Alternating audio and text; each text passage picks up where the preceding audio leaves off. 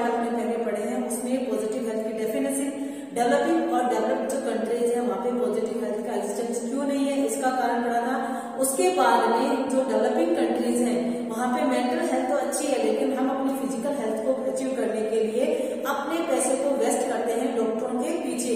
अपनी जो homemade medicine होती है, उनका यूज़ नहीं करते अपन। तो यही राइटर कहते हैं कि हमें देखा देखी करके अपने पैसों को, अपनी मनी को वेस्ट नहीं करना है। उसके बाद में आगे जो हम पढ़ेंगे, उसमें बताते हैं कि पॉजिटिव हेल्थ को अचीव करने के लिए हमारी डाइट में हम किस तरीके से इंप्रूवमेंट कर सकते हैं और किस तरीके से जो राइटर बताते हैं कि जो एनिमल्स होते हैं, वो भी अपनी डाइट को बना करके रखते हैं। उनकी भी एक फिक्स डाइट होती है। वो जितना उनको अपने शरीर को ज़रूरत होता है, उतना ही खाते हैं। लेकिन हम लोग क्या कहते हैं? जो कोई राइटर कहते हैं कि हम लोग जैसे कई माताएँ ऐसी होती है, कई मदर्स ऐसी होती है, जो अपने बच्चों को देखते हैं कि बार बार वो भूखा रहेगा, भूखा तो नहीं रह गया। इसकी वजह से उसको बार बार खिलाने की कोशिश करते हैं। इसकी वजह से क्या होता है? उनका डाइट जो जो उनका सिस्टम है वो वो क्या होता है, वो उसी के अकॉर्डिंग चलने लग जाता है, वो बिगड़ जाता है। तो यही हम अपन आज की वीडियो में देखेंगे, किस प्रकार हम अपने डाइट में इम्प्रूवमेंट करके, किस प्रकार अपने डाइट को बैलेंस में ला करके हम एक फ़िज़िकल हेल्थ को अचीव कर सकते हैं। और जैसे कि राइटर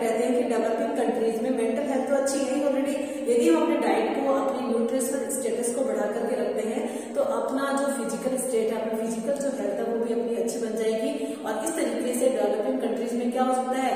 अपन एनवायरमेंट का साथ में ध्यान रखते हुए फ़िज़िकल हेल्थ को बनाते हुए अपने डाइट में इम्प्रूवमेंट करते हुए एक अपनी फ़िज़िकल हेल्थ को अचीव कर लेंगे जिससे हमारी जो पॉजिटिव हेल्थ है वो हमें मिल जाएगी। तो यही राइटर है वो आज की वीडियो में बताते हैं। तो इसको हम आज की वीडियो में पढ़ेंगे। अब अपन शुरू करते हैं अपना chapter Instead of wasting valuable resources on the provisions of more medical facilities, it might be better to use our knowledge and basic common sense in an effort to maintain healthy bodies and minds.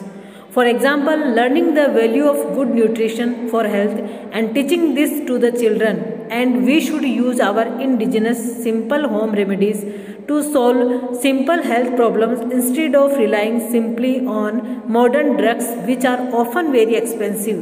And remember, most drugs have side effects which can be more dangerous than the disease itself.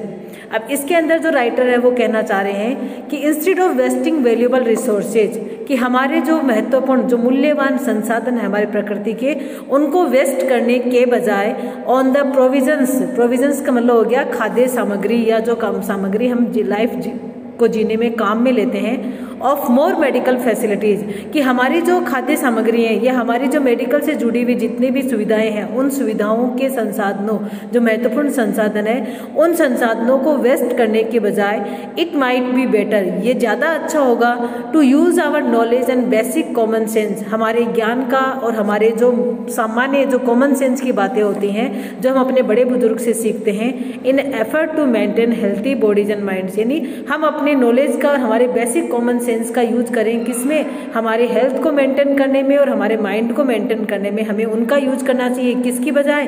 हमारी जो medical facilities हमारी जो बस हैं, उन सुविधाओं का waste करने के बजाय। फॉर एग्ज़ाम्पल उदाहरण के तौर पर learning the value of good nutrition for health हमें उन वैल्यू को सीखना चाहिए, उन वैल्यू को सीखना है जो हमारे हेल्थ के लिए न्यूट्रिशन है, हमारे हेल्थ के लिए पौष्टिक है, उन वैल्यूज़ को सीखो. And teaching this to the children और वही चीज़ें, यानी हमारे स्वास्थ्य के लिए कौन कौन सी चीज़ें अच्छी हैं कौन कौन सा खान पान अच्छा है कौन कौन सी हमारे लिए बातें अच्छी है, उनको सीखने के, उनको हमें सीखनी चाहिए. और साथ ही साथ हमें वो सारी चीज़ें बच्चों को भी सिखानी चाहिए. जैसे बच्चों को हमें बताना चाहिए कि हमें अपनी हेल्थ के लिए हमें ये खाना सही रहता है, ये खाना हमारे हेल्थ के लिए सही नहीं है। And we should use our indigenous indigenous का मतलब होता है देसी। देसी हमारी जो, हमारे जो बड़े बुज़ुर्ग हमें दवाइयाँ बता के जाते थे, हमारे घरेलू जो दवाइयाँ होती है, उनका हमें यूज़ करना चाहिए। सिंपल होम रेमेडीज, जो हमारे सिंपल होम रेमेडीज हैं, यानी हमारे घर में किए जाने वाले जो उपचार हैं, उनका हमें यूज़ करना चाहिए। To solve simple health problem, जो सामान्य हमारी हेल्थ प्रॉब्लम होती है, यानी साधारण सी जैसे पेट दर्द की दिक्कत है, सर दर्द की दिक्कत है, या कोई गैस्ट्रिक की दिक्कत हो जाती है तो इन सब चीज़ों का इलाज करने के लिए हमें मेडिकल सुविधाओं का उपयोग करने के बजाय हमें घरेलू उपचार उनके लिए करना चाहिए। Instead of relying simply on modern drugs relying on का मतलब होता है निर्भर रहना रिलाइंग ऑन निर्भर रहना। यानी मॉडर्न दवाइयों, आधुनिक दो दवाइयाँ हैं। हमारी जो एलोपैथिक दवाइयाँ हैं, उन दवाइयों पे डिपेंड रहने की बजाय हमें हमारे घरेलू उपचार पे ज़्यादा डिपेंड रहना चाहिए। Which are very often expensive और ये जो मॉडर्न ड्रग्स हैं, वो बहुत ज़्यादा एक्सपेंसिव भी होती हैं, बहुत ज़्यादा खर्चीली होती हैं। And remember most drugs have side effect और लेकिन साथ में खर्चीली होने के साथ साथ हमें ये भी याद रखना है कि ये जो दवाइयाँ होती हैं, इनके साइड इफ़ेक्ट भी होते हैं which can be more dangerous than the disease it वो जो खुद बीमारी होती है, उससे भी ज़्यादा उसके खतरनाक उसके साइड इफ़ेक्ट हो सकते हैं। तो इसमें जो राइटर वो कहना चाहते हैं कि मॉडर्न ड्रग्स के ऊपर, आधुनिक दवाइयों के ऊपर, ज़्यादा से ज़्यादा मेडिकल दवाइयों के ऊपर डिपेंड रहने की बजाय हमें क्या करना चाहिए? हमारे जो घरेलू उपचार हैं, हमारी जो घरेलू दवाइयाँ हैं, उनका उनका हमें सिंपल बीमारियों के लिए, इलाज के लिए काम में लेना चाहिए। और हमारा जो हेल्थ है, यानी हम अपने बॉडी को कैसे मेंटेन कर सकते हैं, वो चीज़ें हमें पता होनी चाहिए। साथ ही साथ वो सारी चीज़ें हमें बच्चों को भी बतानी चाहिए। In nature animals are not influence by media campaign and they are not maintain campaign and they trust their own insect तो in nature animals are not influence अब जैसे राइटर है वो एग्ज़ाम्पल देते बताते हैं कि जो जानवर होते हैं, जो एनिमल्स होते हैं, पशु जो होते हैं हमारे आर नॉट इन्फ्लुएंस्ड वो प्रभावित नहीं होते हैं बाय मीडिया कैंपेन मीडिया के द्वारा, जो मीडिया कैंपेन का मतलब होता है आंदोलन चलाना ये कोई भी उनके द्वारा कार्यक्रम किया जाता है। तो हमारे जिस प्रकार हम टीवी में देखते हैं तो टीवी के अंदर जो भी ऐड आते हैं, हम उन ऐड को देखते हैं और उन ऐड के अकॉर्डिंग हम चलने की कोशिश करते हैं। लेकिन जो एनिमल्स होते हैं, वो उन मीडिया के कैंपेन से इन्फ्लुएंस नहीं होते हैं and they trust their own insect on insect means होता है अपनी खुद की सूझबूझ का इंसेक्ट यानी अपना स्व विवेक अपनी सूझबूझ का वो यूज़ करते हैं और इसी पे विश्वास करते हैं। Nature has given each animal the power to monitor its own body monitor यानी अपने कंट्रोल में करना। जो प्रकृति है, उसने प्रत्येक एनिमल को, जन, जो धरती पे, प्रकृति पे जितने भी एनिमल्स हैं, पशु हैं, उन सबको अपनी बॉडी को कंट्रोल में करने का पावर दे रखा है एंड मेंटेन नॉर्मल हेल्थ और अपनी नॉर्मल हेल्थ को बनाए रखने का पावर प्रकृति के द्वारा एनिमल्स को दिया हुआ है। एज एन एग्ज़ाम्पल जैसे एक एग्ज़ाम्पल के तौर पर salt is an essential element required by all animals wild animals in the forest like rhinoceros elephants और deer try to find a place where salt is present in the soil. अब इसमें example देते बताए कि salt जो है, नमक जो है एसेंशियल एलिमेंट है, एक आवश्यक तत्व है। एसेंशियल यानी आवश्यक एलिमेंट यानी तत्व है। एक आवश्यक तत्व है रिक्वायर्ड बाई ऑल एनिमल्स जो सभी एनिमल्स के लिए ज़रूरी होता है। साल्ट सबके लिए ज़रूरी है। तो wild animals in the forest जंगल में जो जंगली जानवर होते हैं, जैसे राइनासर्स राइनासर्स का मतलब होता है गेंडे एलिफेंट्स और deer try to find a place वो लोग क्या करते हैं? एक वो सॉरी वो एनिमल्स क्या करते हैं? एक ऐसी जगह ढूँढने की कोशिश करते हैं where salt is present in the soil जहाँ पे मिट्टी के अंदर सोइल के अंदर नमक है, वो विद्यमान रहता है तो वो उस जगह पे जाने की कोशिश करते हैं। नहीं, जिस प्रकार नमक सबके लिए ज़रूरी है तो एनिमल्स के लिए भी ज़रूरी है। तो एनिमल्स अपना नमक ढूँढने के लिए कहाँ जाते हैं? वो इस प्रकार की मिट्टी की तलाश करते हैं, जिसमें नमक रहता है। They regularly lick the soil to get the exact amount of salt lick का मतलब होता है चाटना। वो लगातार उस मिट्टी में से उस उतने अमाउंट में नमक को चाटते हैं। दियर बॉडीज नीड जितना कि उनकी बॉडी को नीड रहता है, जितना कि उनकी बॉडी को आवश्यकता रहती है, उतना नमक वो उस मिट्टी में चाटते हैं। They eat only the required amount of food और साथ ही साथ जितना उनके शरीर को रिक्वायर्ड रहती है, उतना ही वो खाना खाते हैं and never suffer from obesity obesity means होता है मोटापा और इस प्रकार वो कभी भी मोटापे से सफ़र नहीं करते, यानी मोटापे से कभी भी पीड़ित नहीं रहते हैं as we human often do जैसा कि हम मानव प्राय करते हैं, यानी कि हम लोग ये नहीं देखते हैं कि हमें खाना कितना खाना चाहिए, किस हिसाब से खाना चाहिए न्यूट्रिशन खाना है कि नहीं है। हम लोग उससे भी ज़्यादा डाइट ले लेते हैं, बल्कि जो एनिमल्स होते हैं, वो अपने शरीर के अकॉर्डिंग यानी जितना उनके शरीर को रिक्वायरमेंट है, उतना ही वो खाना खाते हैं और इस प्रकार वो कभी भी ओबेसिटी से सफ़र नहीं होते हैं।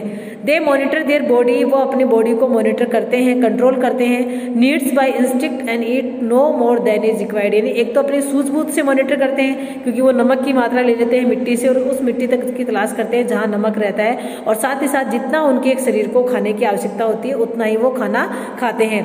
All carnivores animals eat grass whenever they have diarrhoea all carnivores carnivores means हो गया मांसाहारी जानवर। अब ये मांस खाने वाले जानवर होते हैं, लेकिन ये जो कार्निवर्स एनिमल्स होते हैं, वो भी कभी कभी घास खाते हैं। कब खाते हैं? वेन दे हैव डायरिया जब उनको पेट की दिक्कत हो जाती है, दस्त वगैरह की दिक्कत होती है तो उनको भी क्या करते हैं? वो भी मीट के बजाय किसको प्रायोरिटी देते हैं? वो घास खा लेते हैं। जब उनको, उनके साथ उसका उपचार किससे करते हैं? घास से कर लेते हैं। और अदर स्टमक प्रॉब्लम या फिर पेट से जुड़ी अन्य जो समस्याएँ होती है ड्यू टू इनडाइजेशन इनडाइजेस्ट की वजह से जो जो कुछ भी उन्होंने खाया है, वो यदि उनके शरीर में डाइजेस्ट नहीं होता है तो इस चीज़ का इलाज वो जो एनिमल्स होते हैं कार्निवर्स एनिमल्स वो किससे करते हैं? वो घास खा करके करते हैं।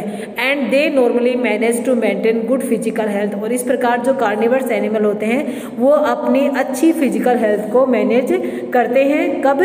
जब वो अपने पेट को, यानी वो प्रकृति के द्वारा, प्रकृति की चीज़ों से ही अपने पेट की बीमारियों को मैनेज करने की कोशिश करते हैं और उसी से वो मैनेज करते हैं और इस प्रकार वो एक गुड फ़िज़िकल हेल्थ को मेंटेन कर लेते हैं।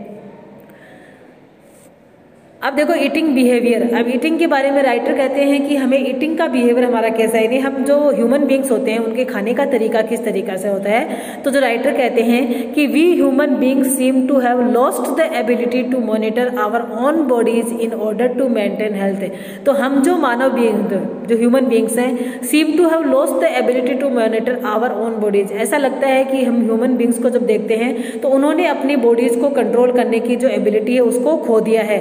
In order to maintain health health को बनाए रखने के चक्कर में। We refuse to understand our own body signals and tend instead to follow the advice of doctors or the media. अब यहाँ पे जो राइटर वो कहते हैं कि हम रिफ्यूज करते हैं, हम मना कर देते हैं इग्नोर कर देते हैं हमारी बॉडी के सिग्नल को। यानी हमारी बॉडी हमें क्या संकेत देना चाहिए? यानी हमारा पेट कितना खाना मांग रहा है, कब खाना माँगता है हमारे पेट के लिए, हमारे शरीर के लिए, हमारी फ़िज़िकल हेल्थ के लिए, कौन सा खाना सही है? तो ये सिग्नल जब हमारे शरीर के द्वारा दिया जाता है तो हम उस सिग्नल को क्या कर देते हैं? इग्नोर करते हैं और उनकी किसकी तरफ़ हमारा टेंड हो जाता है। टेंड का मतलब होता है रुख होना या प्रवृत्ति होना। हमारा रुख किसकी तरफ़ हो जाता है? To follow the advice of doctors और द मीडिया हमारे डॉक्टर और मीडिया के द्वारा जो भी हमें कही जाता है, हम उन बातों की तरफ़ फॉलो करना शुरू कर देते हैं। समटाइम्स ओवर जेलस पेरेंट्स कभी कभी तो जो ओवर जेलस पर्सन होते हैं और जेलस पर्सन का मतलब होता है ज़्यादा उत्साहित जो पेरेंट्स होते हैं, यानी अपने बच्चों को लेकर के ज़्यादा केयर दिखाने वाले जो पेरेंट्स होते हैं। फोर्स इन्फेंट्स इन्फेंट्स मीन्स होता है शिशु, छोटे बच्चे जो होते हैं, जिनको खाने का पता नहीं रहता है तो वो अपने शिशु को इस बात के लिए फोर्स करते हैं एंड स्मॉल चिल्ड्रन और जो चार पाँच साल के बच्चे होते हैं, उनको फोर्स करते हैं टू ईट खाने के लिए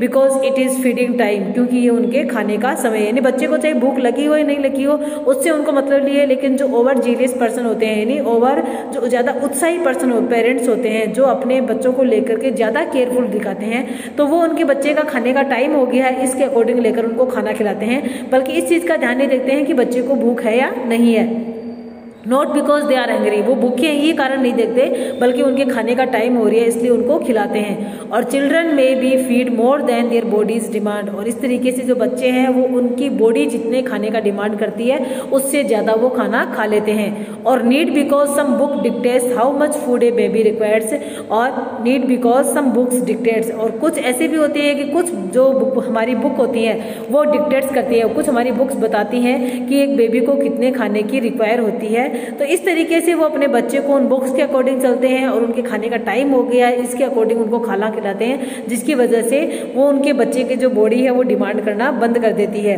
As a result children may grow up ignoring important body signals और इसका रिज़ल्ट ये होता है कि जैसे जैसे बच्चे बड़े होते हैं, वो अपने बॉडी सिग्नल को इग्नोर कर जाते हैं, यानी उनकी बॉडी कितना खाने को रिक्वायरमेंट है, उनकी बॉडी कितने खाने तक सिग्नल देती है, इस खाने, इस सिग्नल को वो इग्नोर कर देते हैं until finally these signal signals become weak and fail to और आखिर में क्या होता है? ये जो सिग्नल होते हैं, वो कमज़ोर बन जाते हैं और फेल हो जाते हैं fail to stimulate normally stimulate का मतलब होता है उद्दीपन देना, जैसे स्टिमुलेट मीन्स उद्दीपन देता है। यानी हमारे शरीर में कुछ ऐसी हमारे शरीर में कुछ ऐसी तंत्रिकाएँ होती हैं जो हमें बताती हैं कि हमें इतना खाना खाना है। यानी हमारी बॉडी हमें सिग्नल देती है कि हमें एक स्टिमुलेट करती है, हमें शरीर में उद्दीपन पैदा करती है कि हमें इतना ही खाना खाना है। लेकिन यदि बच्चे को ओवर खिलाया जाता है, बच्चे को टाइम के अकॉर्डिंग या कुछ बुक्स के अकॉर्डिंग यदि बच्चे को पेरेंट्स खिलाते हैं तो उनकी जो धीरे धीरे जैसे बच्चे बड़े होते हैं तो उनकी बॉडी वो सिग्नल देना बंद कर देती है, बच्चों को वे उद्दीपन देना बंद कर देती है।